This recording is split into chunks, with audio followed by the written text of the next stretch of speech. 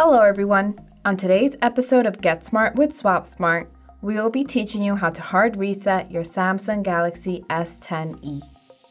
Before we begin, make sure your device is powered off by pressing the power button. To hard reset your device, we will need to press the volume up button, Bixby button, and power button.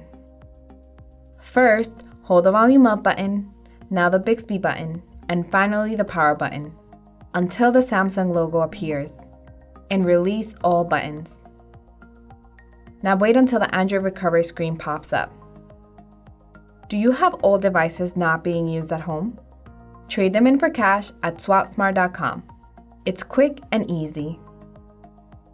When the Android recovery screen appears, use the volume down button to navigate to wipe data, factory reset, and press the power button to select. Navigate to yes by pressing the volume down button and confirm by pressing the power button. Wait for the factory reset to complete and you're done. If you found this video helpful, please subscribe to our channel, like the video, or leave a comment. We'd love to hear from you. Thank you for watching. Until next time.